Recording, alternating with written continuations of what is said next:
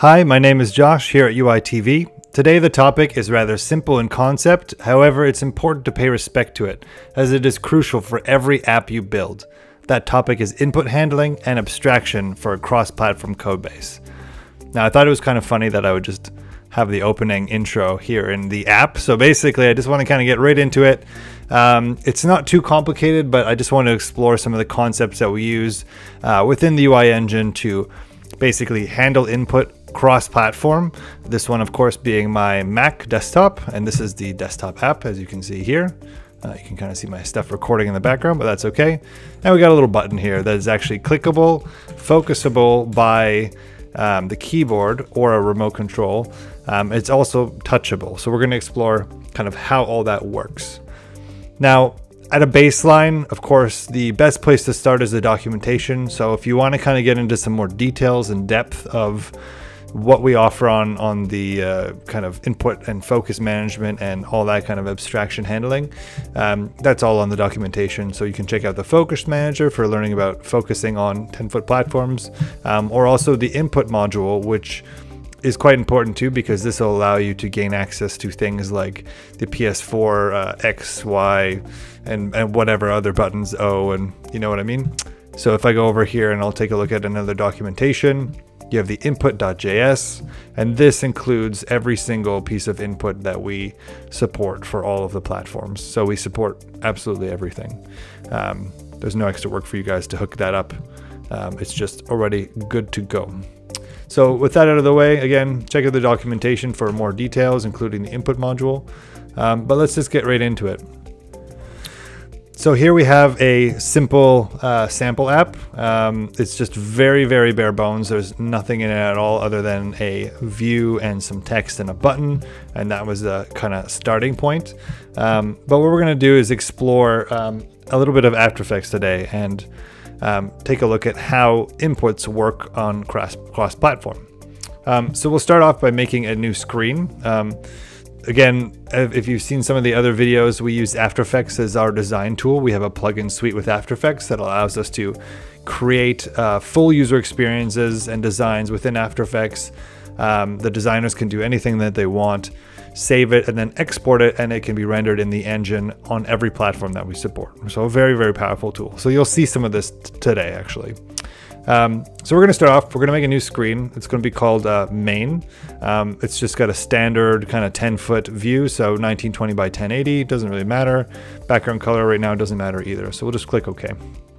So we got nothing here to start. Um, let's go ahead and take a look at what that'll look like in our engine. So under composition, we can take a look and preview basically this screen. So when I click on that, the engine will launch um, and then we'll have a preview. Of course, there's nothing, so you'll see nothing. There's a couple couple helpful commands to switch between background colors and other test items. But let's start adding some buttons because that's kind of the key topic today. So first, let's add a push button. We'll do a single push button. Um, over here in our library panel, again, part of our plugins, um, you can click on push button and then add it. This is kind of a very easy baseline templated button. Um, it's just used for quickly making user interfaces and actually very useful for developers like myself. Um, this way I can make a user interface um, that is fully ready for code before designs even happen. And then I can pass that design back off to the, the design team so that they can polish it. Um, so we got a simple button here. Um, let's give that actually a test. That's a good baseline. So we'll do again, we'll preview, uh, we'll preview the composition main and we'll take a look at what there is. You can see the button actually, it's barely behind there. I'll change the background color so we can see it. Now we have a simple button that, because we're on OS X, it actually handles every input that we support. Um, I guess minus touch, because if I touch my screen, nothing's gonna happen, but we have a hover state. So if you were on a desktop like this that has a mouse that can hover over things, you can hover over this button. You can of course click it.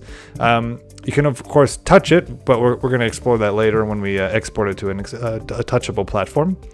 Um, and then finally, you can also focus to it. So I'll use the arrow keys here. And obviously we only have one thing to focus on, so it'll be the only thing that grabs my focus. But I'm currently selected on it with the arrow keys, and I can press enter um, to select it. There's a better way to visualize that, and I'll show that in our next test. So let's add a couple more buttons just so we can see what's going on.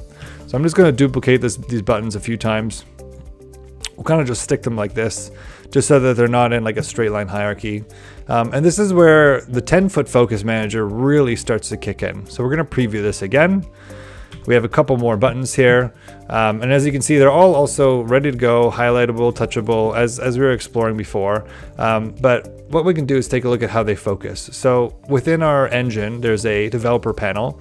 Um, you can open it by triple tapping on the top left corner, pressing the play button three times in a row um, on, on a remote. Or if you don't have a play button, play pause button, then what you can do is enter a Konami code. That's all in our docs as well. Um, so what we're going to do is we're going to open the focus debugger, which is part of our tools here, and it'll show information on where focus is currently and where it's expected to go and what its focus route is, because there's also focus hierarchies involved. Um, but as you can see here, we have um, the main first button there focused, and on the bottom right, you can see the details on where it's expecting to go, right? So focusing right or pressing the right button will go to the next push button. And likely also because it's right and down you can both use right or down to get there. And similarly up and left will work to go back. Um, so without doing any work at all this is already completely functional um, and ready for a 10 foot a 10 foot remote. Um, so you know, the test is not going to be that complicated. I'll probably keep it just at this for this kind of tutorial. Um, but what we're going to do is we'll just add a couple more buttons just kind of all over, just so we can test it on a, on a couple platforms. Um, I'm going to save that. We're going to save that into our um, project that we had already open. So I'll do save as. I'm going to find my project here in my development. Uh, UI, AE. So we're going to save that in the AE folder. And we're just going to call it input test. Save. Um, and I also just want to modify a couple of things. So I'm just going to give a background color here so we don't have to set it because that's a bit of a pain. So let's just do that now. So on the properties panel, I can select my main composition and give it a couple properties. And what I want to do is call it, instead of just a regular container, I'm going to call it a decorated container. And we'll just give it a background color of a hex value of uh, dark gray. So that should work. And then we're also going to modify the push button um, just so it has some text so we can see as well. So we'll just do press me. That'll be our default text for the push button. Push button. We'll give that a little test. Again, preview composition. There we go.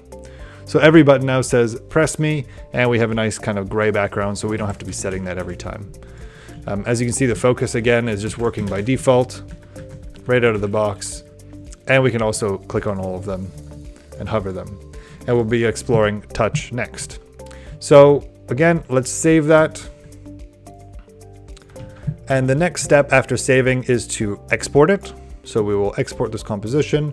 This again is that export process to bring all of that data that the designer has made, or in this case me, the developer. I'll bring all that data straight into my application so I can test it on many platforms. So what we're gonna do is first test it in this kind of testing app that we started already. Um, so we're gonna do basically a linking of the composition. So we don't need any of this code. Um, but we're going to get rid of all of those kind of React Native things, and we're going to use a tag that is internal to our engine called composition. Um, and what that allows us to do is reference a composition from After Effects. So pretty simple concept. Um, so instead of building a view and giving it styles and JSX and handling all of that, um, we basically just say, go find this this uh, composition that is done um, within After Effects by Designer. And then we give it a source, uh, and the source is going to be um, the name of the composition. So we did, I believe it was input test. Yes, input test was the file name, sorry, and the composition name was main. Um, so with that, we should actually should be good to go. The, the, code is saved. We'll have to do a rebuild to get our uh, new assets into the app. And there we go. Pretty much instantly, I have a cross-platform app. This platform, of course, being OS X, uh, now imported with our uh, design that we just did in After Effects. You can see some de debugging information there at the top, um, the engine version at the bottom right, and then of course we have you know the uh, the, the debug panel with uh, the focus manager and all that kind of stuff that we were exploring earlier.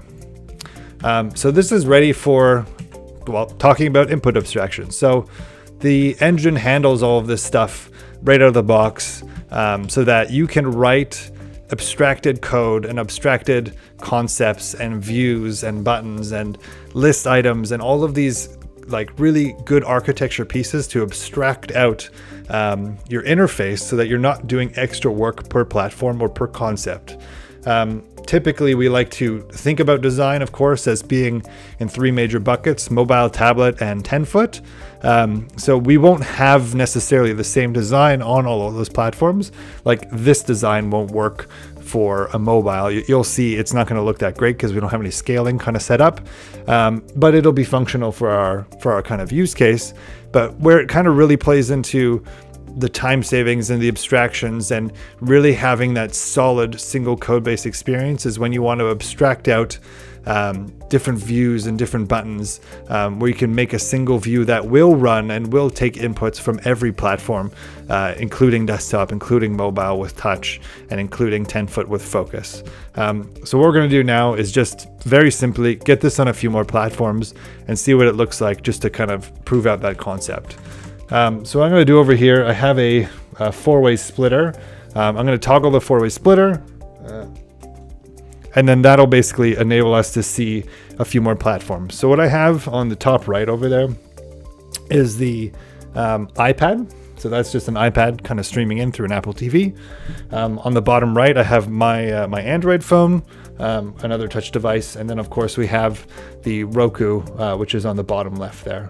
Uh, so we're gonna basically export what we've just built for all of those platforms. So I realize the text is gonna be a little bit small there on the top left. Um, but it's not that important to pay attention to. It's just more the concept of us doing this kind of together. So I'm going to do the first one here. Um, this will be the Android device. So I'm just going to run a command um, from our CLI that is basically a generate, uh, build, and a uh, install for the Android platform. So this command, the single command will generate your, your Gradle project, then it'll build your Gradle project, and then it'll take the APK and install it onto, in this case, my phone. Um, so all of that's happening right now. And that'll include, of course, our design that we've just done. Um, so maybe in, in Harmony, we can do another one as well. Actually, I'll just wait for that one to be done.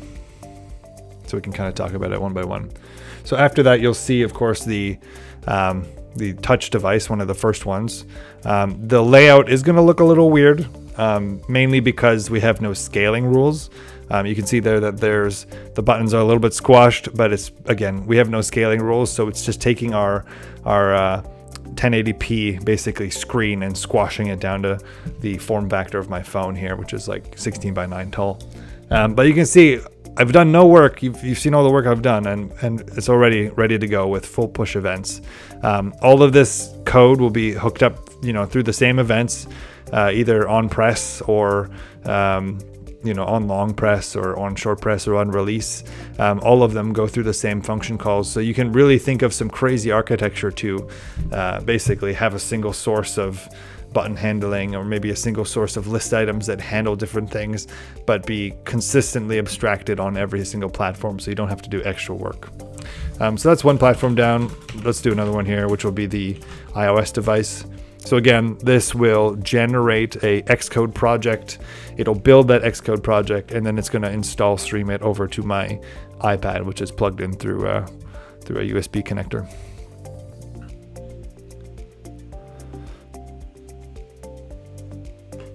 And so the build's done now, and we're just getting it to launch, and it should be uh, the exact same, of course. Um, so again, that single kind of code base approach. Um, now we're running on Apple and Android, same code base, and you can see here also again the touch device uh, being completely ready to go. This one obviously looking a little bit nicer than the Android one because it's not as squashed.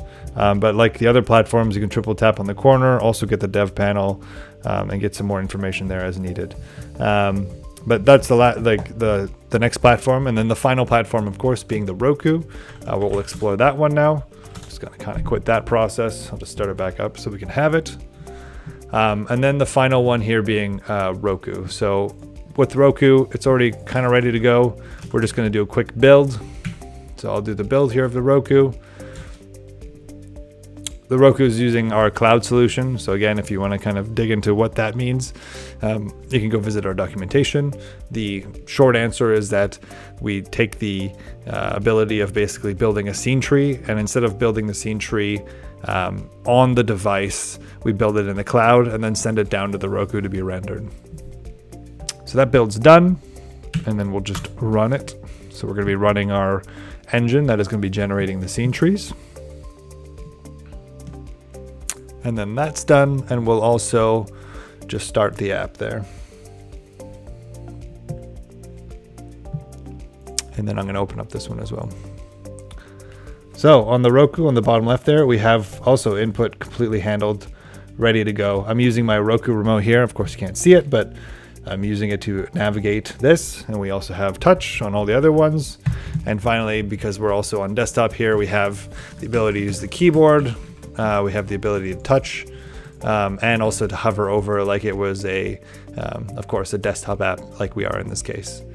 So within a matter of minutes, we have four platforms that are running. Um, you know, inputs are done, and we haven't done any extra code to, to do it because the engine just handles it. Um, so that's how we handle input abstractions. Um, if you have any other questions, feel free to reach out to us, um, and we can definitely dig into um, the topics that you'd like to see next. Thanks.